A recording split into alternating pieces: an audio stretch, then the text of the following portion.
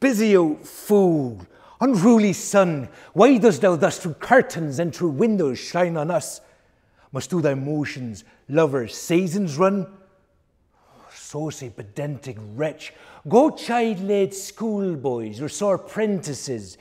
Go tell cordonsmen that the king'll ride. Go call country hands to harvest offices.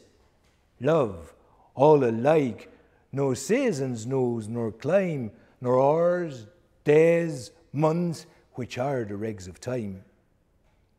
The beams, so reverend and strong, why shouldst thou think? I could eclipse and cloud thee with a wink, but that I would not lose her sight so long. If our eyes have not blinded thine, look, and tomorrow lay tell me if both Indias of spice and mine are where thou left'st them, or lie here with me.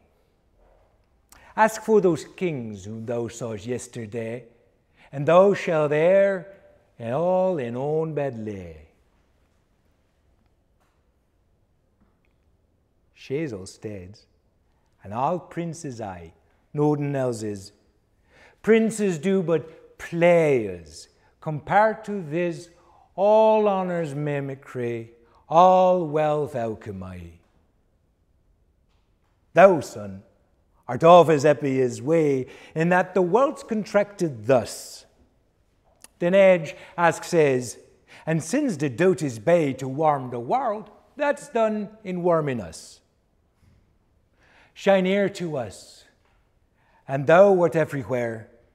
This bed, this centre is, these walls, this fair.